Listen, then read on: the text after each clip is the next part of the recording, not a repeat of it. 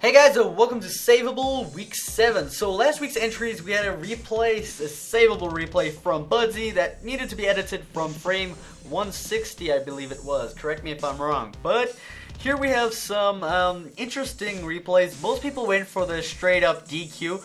Although I was looking for uh, people trying to get a DM. I couldn't even get a DM myself, but I mean, I'm putting this task onto you guys, so I was hoping I'd get a few DMs. A few of you actually did get some awesome ones. I was surprised because it was a freaking nightmare getting DMs in this. Saving in this was otherwise very easy and simple. Basically, I gave those uh, of you who kind of like just need that extra little push to get into this event, and this event was pretty easy to do. It was this replay was kind of easy to save. All you had to do was basically just save yourself from the floor and then just lift up, and then you could go anywhere from there. Um, but for the next two weeks, you guys are gonna suffer. I'm not even joking. You guys are gonna suffer so hard because oh my god.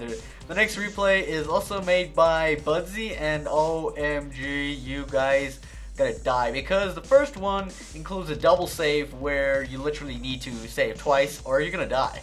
But it's going to be very fun. I'm looking forward to it a lot. I have my own replay already made. It's going to be interesting. I have to wait for a week until I can upload it. But um, damn. So let's Let's see, some people got some really cool stuff going here. I I really like the people who got some DMs here. I think the only three or four people who actually managed to get a DM or two off of uh, Uke here. Some people did flips like that, which was really cool. I like the idea of the, the whole flip and throwing Uke out of the ring. It was really, really unique and different and like just fun and people taking the save to a, a kind of like a new level. Uh, presumably because they couldn't get a D DM or anything like that. But yeah, it's pretty fun. Uh, Gas Tank probably has the best throwout because it's like just so swift and then kabam. I just love how swift that was.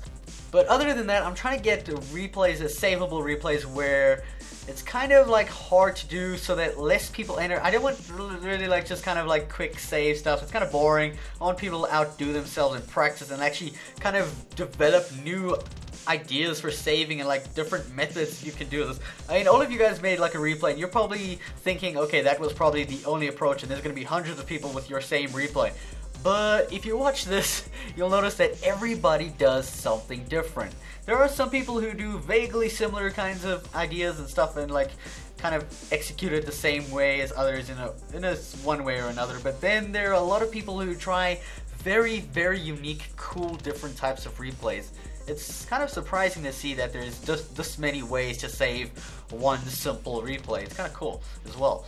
Yeah, but genuinely, everyone generally went for the butt to the ground kind of approach where you just get his ass like DQ'd like that, which is kind of a little bit boring, but but I mean it is technically a save and you guys still get to be in the video, so that's fine too. If, if you can't do better, then it's fine. If if you don't have time to, that's fine too. Just just sometimes try to be unique and, and test your skills.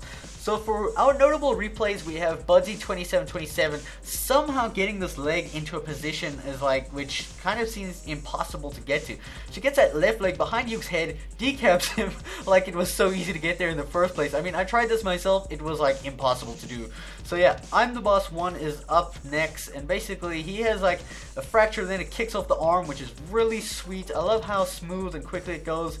Unfortunately, he isn't able to get the decap, but I tried this myself. It's hard to get this decap, but that leg coming up was perfect, taking the arm, and he wins by points. GG. So for next week, we have this replay by Budsi, which you can download from the link in the description. You have to edit it at frame 260. As you can see, you've lost your head, your head is falling to the ground, so you gotta save your head, and then save the momentum which your whole body's flying out the ring with. This is going to be a little bit tricky to do, but I hope some of you can get it and do some unique stuff.